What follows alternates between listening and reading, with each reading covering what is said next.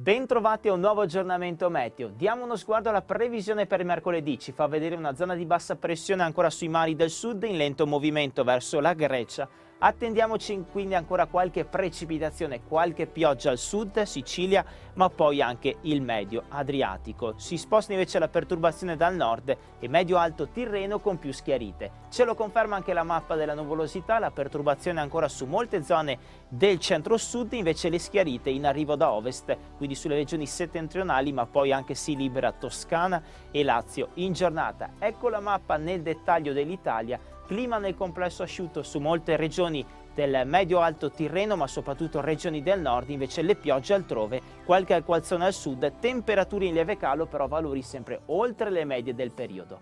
Con questo per il meteo è tutto, gli aggiornamenti sull'app di Trevi Meteo.